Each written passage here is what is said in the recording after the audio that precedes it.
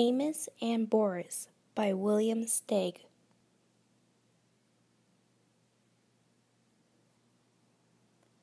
Amos, a mouse, lived by the ocean.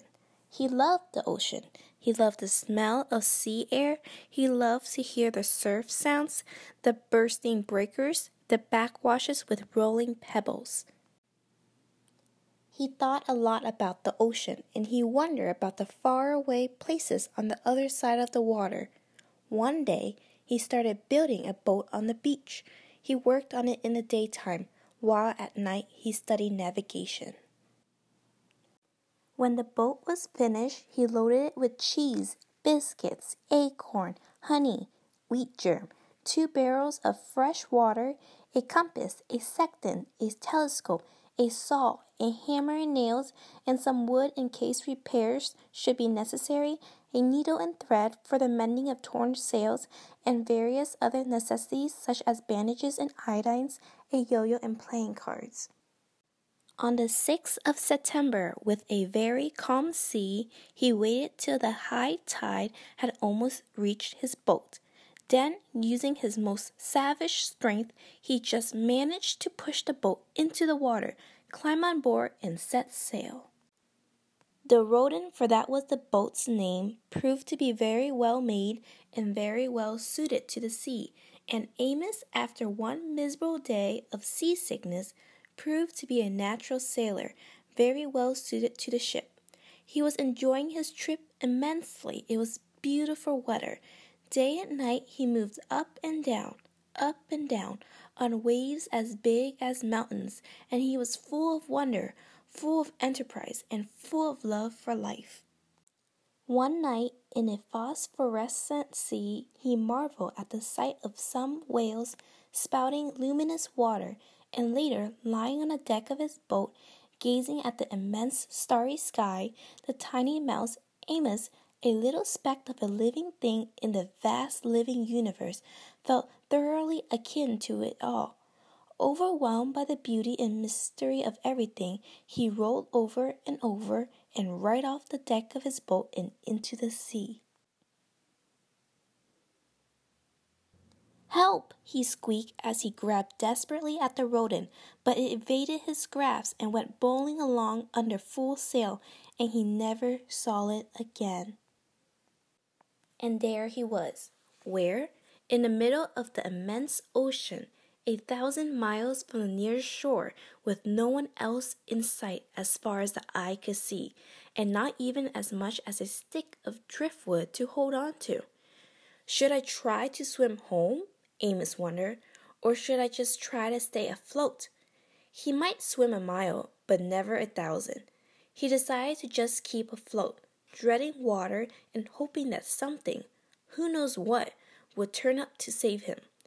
But what if a shark or some big fish, a horse mackerel, turn up? What was he supposed to do to protect himself? He didn't know. Morning came as it always does. He was getting terribly tired. He was a very small, very cold, very wet, and worry mouse. There was still nothing in sight but the empty sea. Then, as if things weren't bad enough, it began to rain. At last, the rain stopped, and the noonday sun gave him a bit of cheer and warmth in the vast loneliness. But his strength was giving out. He began to wonder what it would be like to drown. Would it take very long? Would it feel very awful?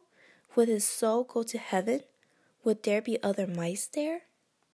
As he was asking himself these dreadful questions, a huge head burst through the surface of the water and loomed up over him. It was a whale. What sort of fish are you? the whale asked. You must be one of a kind. I'm not a fish, said Amos. I'm a mouse, which is a mammal, the highest form of life. I live on land. Holy clam and cuttlefish, said the whale. I'm a mammal myself, though I live in the sea.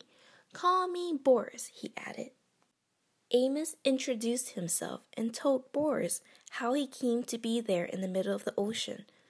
The whale said he would be happy to take Amos to the ivory coast of Africa, where he happened to be headed anyways, to attend a meeting of whales from all the seven seas. But Amos said he'd had enough adventure to last him a while.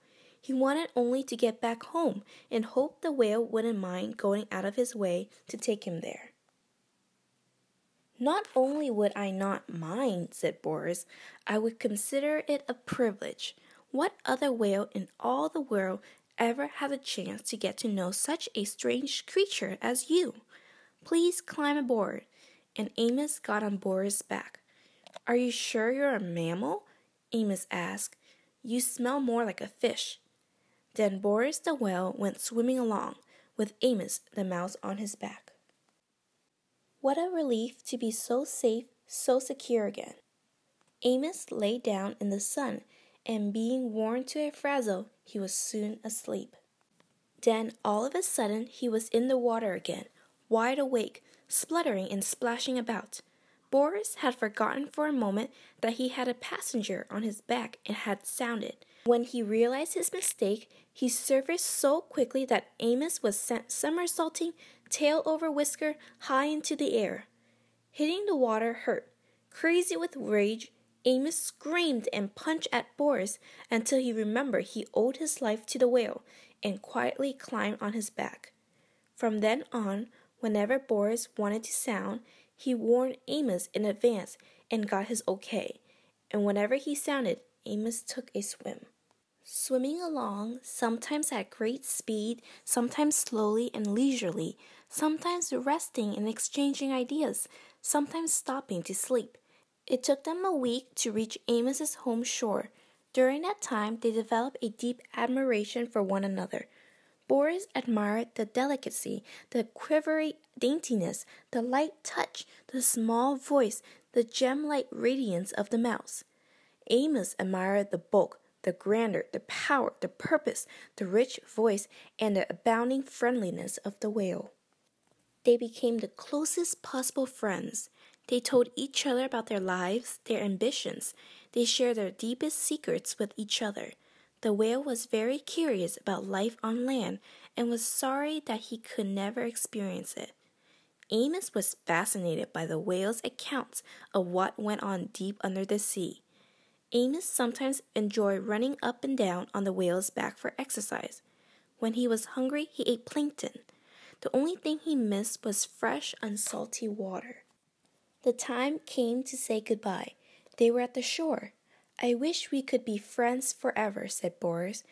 We will be friends forever, but we can't be together. You must live on land, and I must live at sea. I'll never forget you, though. And you can be sure I'll never forget you, said Amos. I would always be grateful to you for saving my life, and I want you to remember that if you ever need my help, I'll be more than glad to give it. How he could ever possibly help Boris, Amos didn't know, but he knew how willing he was. The whale couldn't take Amos all the way in to land. They said their last goodbye, and Amos dived off Boris's back and swam to the sand. From the top of a cliff, he watched Boris spout twice and disappear. Boris laughed to himself. How could that little mouse ever help me? Little as he is, he's all heart. I love him and I'll miss him terribly. Boris went to the conference off the ivory coast of Africa and then went back to a life of whaling about, while Amos returned to his life of mousing around, and they were both happy. Many years after the incidents just described, when Amos was no longer a very young mouse and when Boris was no longer a very young whale, there occurred one of the worst storms of the century. Hurricane Yetta, and it just so happened that Boris the whale was flung ashore by a tidal wave and stranded on the very shore where Amos happened to make his home. It also just so happened that when the storm had cleared up and Boris was lying high and dry on the sand, losing his moisture in the hot sun and needing desperately to be back in the water, Amos came down to the beach to see how much damage Hurricane Yetta has done. Of course, Boris and Amos recognized each other at once. I don't have to tell you how these old friends felt at meeting again in this desperate situation. Amos rushed toward Boris. Boris could only look at Amos. Amos, help me, said the mountain of a whale to the mote of a mouse. I think I'll die if I don't get back in the water soon. Amos gazed at Boris in an agony of pity. He realized he had to do something very fast and had to think very fast about what it was he had to do. Suddenly, he was gone. I'm afraid he won't be able to help me, said Boris to himself. Much as he wants to do something, what can such a little fellow do? Just as Amos had once felt all alone in the middle of the ocean, Boris felt now lying alone on the shore. He was sure he would die, and just as he was preparing to die, Amos came racing back with two of the biggest elephants he could find.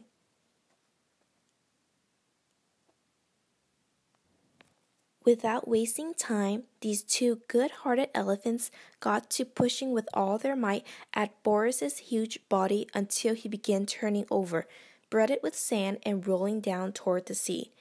Amos, standing on the head of one of the elephants, yelled instructions, but no one heard him. In a few minutes, Boris was already in water with waves washing at him, and he was feeling the wonderful wetness. You have to be out of the sea really to know how good it is to be in it, he thought. That is, if you're a whale. Soon he was able to wiggle and wriggle into deeper water. He looked back at Amos on the elephant's head. Tears was rolling down the great whale's cheeks. The tiny mouse had tears in his eyes too. Goodbye, dear friend, squeaked Amos. Goodbye, dear friend, rumbled Boris, and he disappeared in the waves. They knew they might never meet again. They knew they would never forget each other.